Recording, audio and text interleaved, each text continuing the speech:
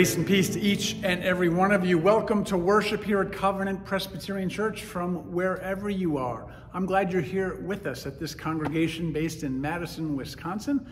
We're here to worship God. We have reopened our sanctuary on Sunday mornings. We have worship in person at 9 o'clock and 10.30. If you'd like to join us, please do. For the first couple weeks, we asked people to sign up so we could have a sense of how many people were coming. But starting this Sunday, we have eliminated that sign-up list. So feel free to come by 9 o'clock, 10.30, anytime you like.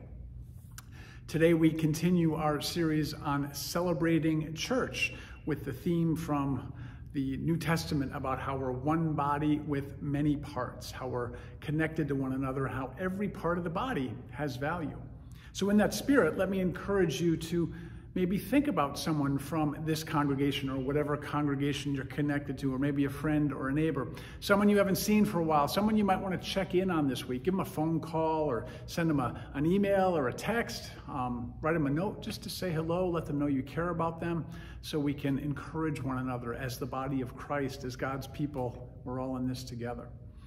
It's Father's Day as well. So happy Father's Day to all you dads out there. I'm lucky enough to be a father of two wonderful human beings myself. So thanks be to God for this wonderful day. Although we know that it's not a joyful day for everyone. Some people are grieving. Some people struggle with complex family relationships. So, probably the best thing to do is to take the spirit of the Apostle Paul, who encourages us to weep with those who weep and to rejoice with those who rejoice on Father's Day or really any day. We are here together to worship God, to listen to Scripture, to reflect, to pray, to hear some wonderful music, to reconnect with God, and to grow as God's people. So, wherever you are, please take a deep breath. Try to let go of the things that might distract you and focus on why we're here together. Let us worship God.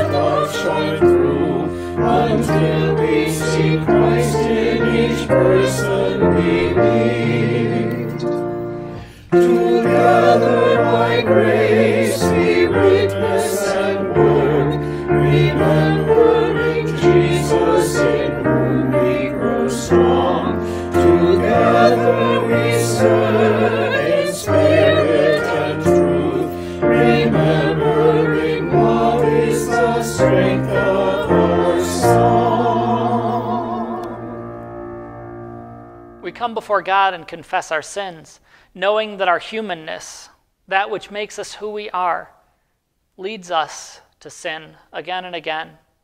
And so we confess and we continue to confess. Let us pray. God of, of love, we have failed you. Not just once or twice, but regularly. We have said things that we wish we could take back to people we love. We have left things unsaid to protect and to show our compassion for people we don't know. We have hated our enemies. We have wished ill on them. We have spoken rashly in anger or in indifference. We have failed. Because you call us to righteousness, you call us to be people that follow your way, the true path of, of goodness and peace and, and joy and love, and we just don't do it. So we ask that you forgive us. Because we know that your infinite wisdom has seen fit to love us and to forgive us again and again and again, knowing that we will fail and continue to fail. But still, you forgive. So we give thanks for the unfathomable love and for the personification of that love in Jesus Christ, which reminds us of the life to come, regardless of who we are and what we've done. Amen. Friends, that life found in Christ, found in God, found in each other gives us peace. And so may the peace of Christ be with you all. And I encourage you to share a sign of Christ's peace with your neighbor, wherever they may be, whoever they may be, and however you may do it. Alleluia. Amen.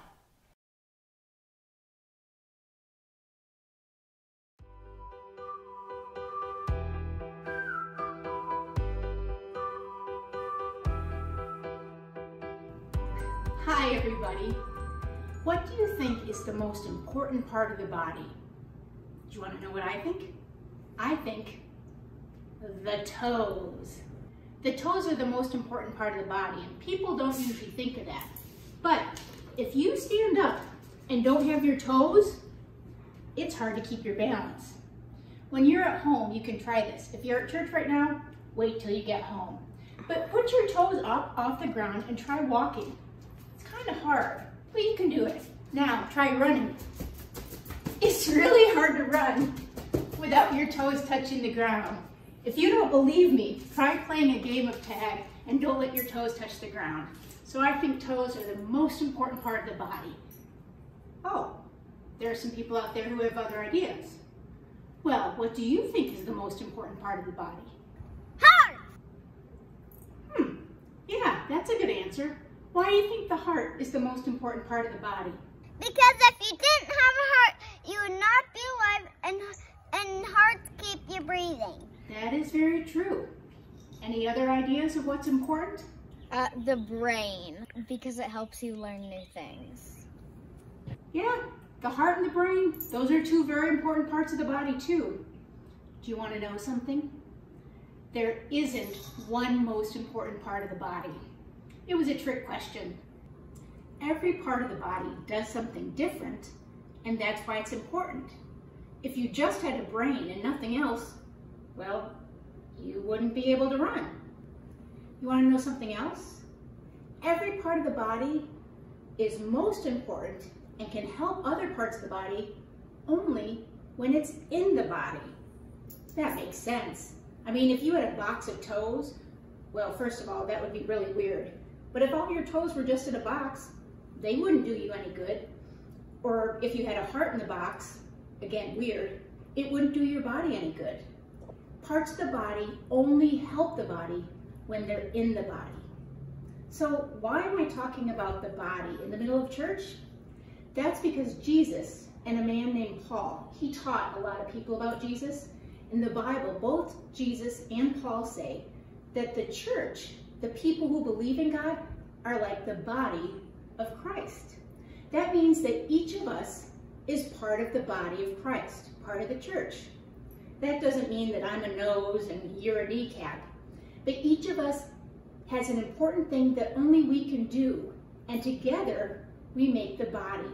What do you think it is that you do for the body of Christ, for the church?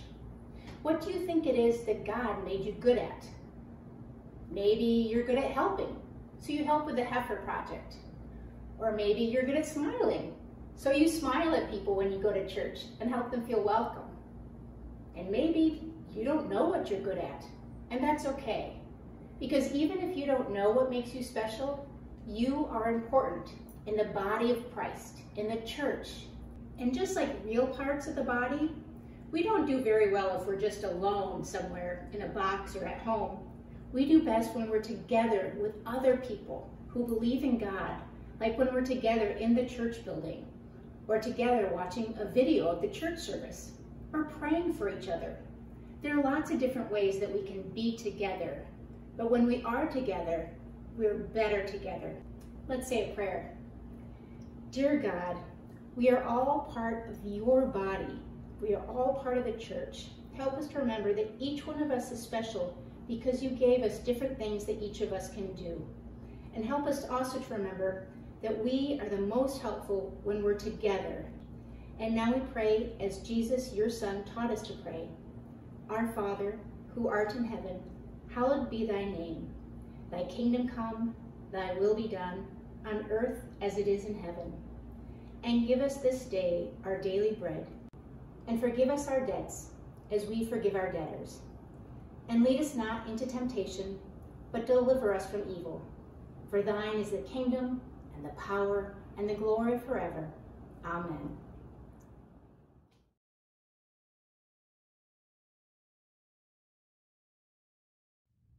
Head, shoulders, knees and toes, knees and toes. Anybody remember that old camp song? It was a favorite in a lot of places that I've been in my life, and I think that song was done to help people stretch a little bit and maybe to get a little bit of excess energy out of the campers.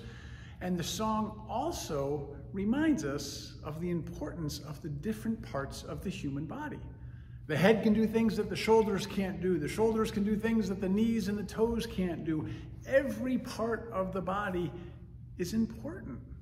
And that's a good lesson for us to learn in camp. It's a good lesson to us to learn as Christians. The Apostle Paul used the image of the human body to help the early Christians understand what the church community was all about. How it's one body with many different parts, different people coming together with a variety of skills and gifts and interests to serve God, to continue doing what Jesus had begun. Paul makes this point about one body with many parts in two places in the New Testament. One of them is in 1 Corinthians chapter 12, which you will hear next Sunday in our worship service. And he also makes it in another chapter 12, in Romans chapter 12, and that's our reading for today. Now, context is always important. Romans chapters 1 through 11 make an elaborate theological argument that we are saved by grace through faith. Chapter 12 begins with therefore. It's sort of a, okay, we're saved by grace, therefore, what does it mean kind of chapter.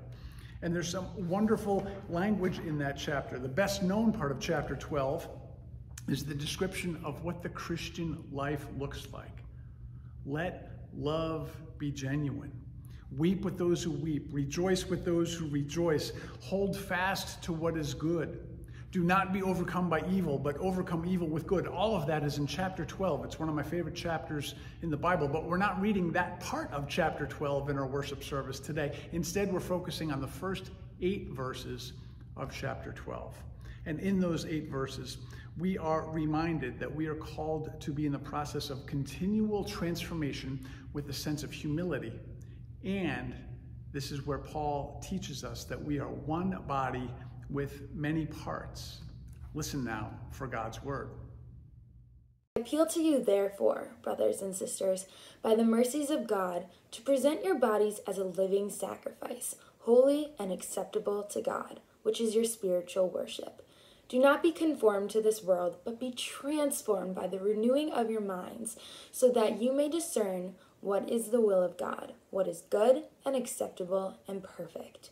For by the grace given to me, I say to everyone among you not to think of yourself more highly than you ought to think, but to think with sober judgment, each according to the measure of faith that God has assigned. For as in one body we have many members, and not all members have the same function, so we, who are many, are in one body in Christ, and individually we are members one of another. We have gifts that differ according to the grace given to us prophecy and proportion of faith, ministry and ministering, the teacher and teaching, the exhorter and exhortation, the giver and generosity, the leader and diligence, the compassionate and cheerfulness. This month we are celebrating church. We have reopened the doors to the sanctuary, and while I know not everyone is able to rejoin us in person just yet, it is wonderful in all the ways that we are starting to reconnect face to face and experience God's grace in the presence of one another once again. Over the past 15 months or 16 months of COVID isolation, we've had to stay separate from one another. And during that time, we might have forgotten what it means to be the church, to be one body with many parts. We might have forgotten some of the wonderful things about Covenant Church, about how we do that. So, with the help of my colleagues, we put together a list, a top 10 list, if you will, of ways that we are indeed one body with many parts. It's a celebration of the various ways that people support our church and the ways that people are involved in our church. Here we go. Welcome we have friendly and warm people who help us all to experience God's grace and love, and they help visitors feel connected as well. Music. We have wonderful musicians whose music offers healing and helps us all to sing God's praises. Gardening. We have lots of skilled gardeners who make the, the church look beautiful, and we have people who can cut down trees and, and pull up weeds and do all sorts of things like that that are really important youth. We have some awesome teenagers at Covenant who are learning, growing, and serving, and we have a wonderful group of adults who journey with them. Children. We have curious and good hearted kids here at Covenant Presbyterian Church who are learning about God's love with the help of caring and faithful and patient adults. Heifer. We support Heifer International, their poverty fighting efforts around the world, and we do that with creativity and fun. We raised over $4,000 last month for this initiative. Mission, because of the generosity of the people of this congregation and the oversight of our mission committee, we support dozens, dozens of global and local mission partners with tens of thousands of dollars every year. Mercy mats. This is something new for us. We have skilled, talented people who are recycling plastic bags and making mats for homeless people. Notes and prayers. We have dozens and dozens of people who are saying prayers and writing notes and sending emails and sending texts and making phone calls to one another to encourage and support and comfort people in challenging times. And finally, worship. Online or in person, we gather week after week, and some of us are lucky enough to gather here in the sanctuary to sing and pray, to listen, to grow, and to encourage one another in the Christian life. We have a lot of great things happening here at Covenant Presbyterian Church, this body of Christ. Now, clearly, nobody is involved in all of those things, and nobody could or should be, quite frankly but we all can be involved in some way. As pastor and author Max Lucado has famously said, no one can do everything, but everyone can do something. I was reminded of this just a few days ago. I called a 90 plus year old member of our church. Despite being isolated from family and friends, this person was full of gratitude for life, for family, for friends, for God. And after briefly lamenting that they can no longer drive or no longer get out much or no longer be involved physically in a lot of church activities, this person told me that just about every single day they pray for me and many other people by name. I hope that person knows how much their words lifted me up and encouraged me in that call when I was supposedly um, making to, to lift them up and encourage them. So, if a 90 plus year old member who's isolated at home can find a way to serve and to engage and to be an active and vital part of the body of Christ, couldn't we all? Listen again to the words of Paul from the message, the, the uh, contemporary version of Scripture, just a part of our reading for today from Romans 12. So, since we find ourselves fashioned into all these excellently formed and marvelously functioning parts of, in Christ's body, let's just go ahead and be what we were made to be without enviously or pridefully comparing ourselves with each other or trying to be something we aren't. What great words. So, some questions for us to ponder today. Are you being what you were made to be? Do you have a sense of your role in the church, your part in the body of Christ here at Covenant Presbyterian Church?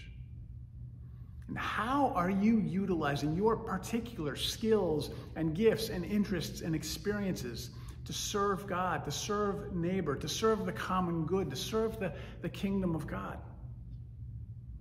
These are hard questions, but they're good questions, questions we need to ponder on a regular basis. You know, health professionals encourage us to get an annual physical, to take care of our bodies. If we are the body of Christ, then we need to take care of our body and each individual part of that body. So maybe we should have an annual spiritual checkup when we make sure all the parts of the body are working in the ways that they're intended to work. So, how's your spiritual health as part of the body of Christ? A lot of us may have gotten a little bit unhealthy over the past year, understandably so. It's been a really hard year. One of my hopes in this season of rebuilding and, and reopening and coming back together in various ways is that we can take steps probably small steps, but steady and consistent steps to finding our way back to spiritual health and new life and being the people that God has intended us to be. In our book of order, in the Constitution of the Presbyterian Church, there's a section on the ministry of members with a list of all the ways that members are called to serve, with the potential things that we're called to do. And that list concludes with reviewing and evaluating regularly the integrity of one's membership and considering ways in which one's participation in the worship and service of the church may be increased and be made more meaningful. Wow, good words. There's our spiritual checkup list for the year. Now, figuring out our gifts and our calling and considering how we're living as God's people, that's not easy to do alone. You know, when, when we're by ourselves, sometimes we can delude ourselves. When I'm driving in my car and a great song comes on the radio, I can convince myself that I can sing just as well as Bono or Bruce Springsteen or whoever. But when I sing around other people, I recognize that, okay, that's not my gift. That's not my contribution to the body of Christ at the church. We all need to get a little help figuring out what our gifts and our skills and our ways to serve are. No one can do everything, but everyone can do something. Figuring out what our gifts are, figuring out how we can serve, figuring out who we are as part of the body of Christ can happen in small groups. We've been doing small groups now for a few years, and it's a wonderful space and place for people to come together to listen and learn and grow and explore who they are. If you haven't been in a small group, stay tuned. We're going to have some more in just a couple of months. It also happens in committee. Committees give us a chance to figure out who we are and who we're called to be. Of course, it happens in a committee. We're Presbyterians, for goodness sake. Some of you know that we have a nominating committee as a Presbyterian church. All Presbyterian churches do. And on paper, that committee's task is to discern God's will for people who might be called to serve as elders and deacons and committee leaders. But in a broader sense, the work of that committee, and really the work of all of us, is to discover our God given gifts and the ways that we can serve both in the church and maybe especially beyond the church. Yes, serving in the church is really important, and we need people to do things here in the church, but our calling is to live as God's people. We learn God's love and we go out there and we live it. We utilize those gifts in a variety of ways. God didn't create us just to serve on committees or to do church activities, as important as those things are. Our calling is to get out into the world and to make a difference. The church helps us to learn who we are, who we're called to be, and then launches us into the world to make those gifts real in our daily interactions. As transformed people who are learning to be part of the body of Christ, we go out into the world to make a difference. Teresa of Avila, a 16th century Spanish mystic, has it right. She wrote, Christ has no body now but yours. Yours are the eyes through which he looks compassion on this world. Yours are the feet with which he walks to do good. Yours are the hands through which he blesses all the world. You are his body. What wonderful words she offers us from centuries ago. Now, most of us don't have it all figured out just yet. We don't fully know our life's purpose or have a crystal clear sense of who we are and what we're meant to do and what we're meant to be, and that's okay. Maybe we just need to go week by week, or day by day, or hour by hour. Can you think of something right now that God might be calling you to do this week, this day, this hour? Maybe a slight change in direction. Maybe letting go of something that's not helping you. Maybe reaching out to someone. Maybe really listening to someone. Maybe intentionally caring for someone.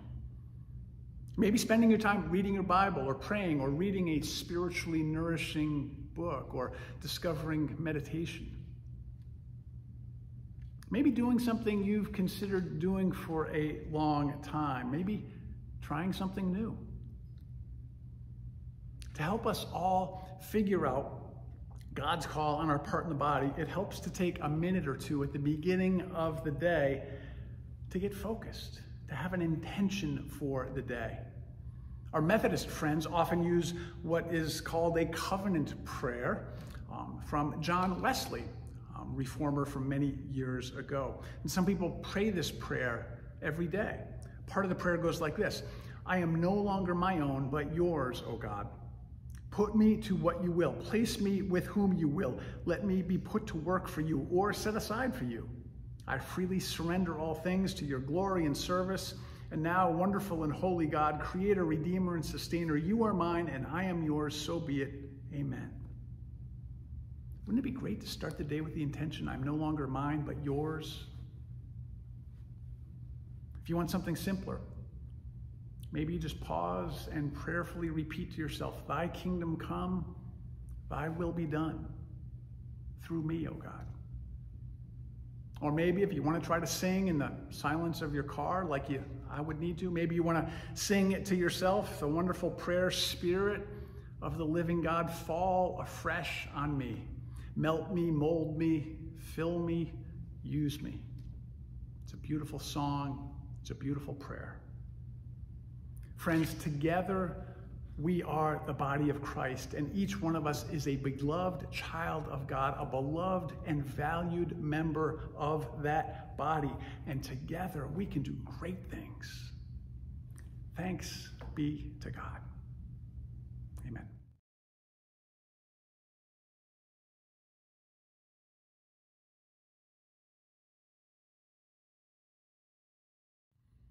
So we are one body with many parts, and we are called to offer ourselves to God and for God's service. Some of us can be very generous with our money. Some of us can be very generous with our time. Some of us can be very generous with our skills. Some of us can be very generous with our prayers. Whatever gift you have, we bring those as offerings to God. So let us worship God with our offerings, and pray that God might use us this week.